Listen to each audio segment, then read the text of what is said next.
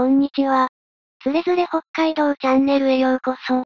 北海道道227号を、赤平から滝川に向かう途中で、ハイバスを発見したのでちょっと見学です。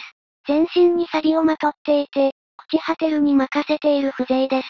中ドアには、住宅用のアルミサッシがついています。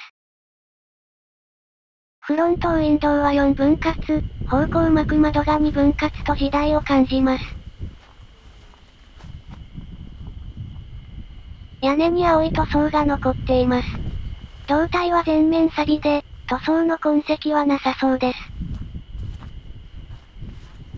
でも、ちょっとだけ青い太い帯がかすかにあります。この感じだと、国鉄バスのようです。窓からは機械部品のようなものが覗いていて、倉庫に利用されているようです。テールランプは、しょぼい札幌市営バスと同じです。フロントタイヤにはブリヂストンの表示が、サスペンションはリーフリジット、板バネですね。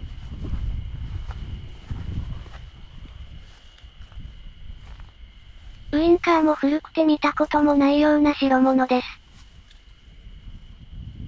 フロントウィンドウのガラスが外れているので、ちょっと覗いてみます。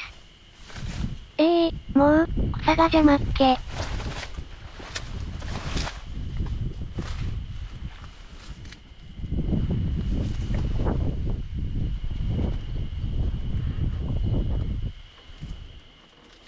よいしょっと。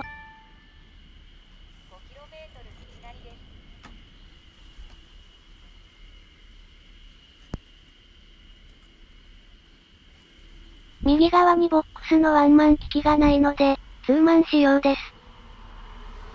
車掌との合図用のベルもあります。ハンドルの真ん中に、イスズの表示が、サイドブレーキ横には、デコンプのレバーです。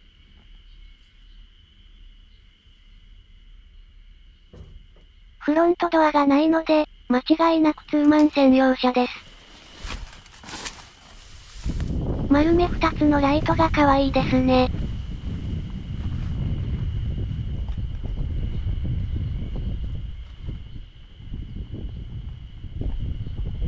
後輪はダンロップです。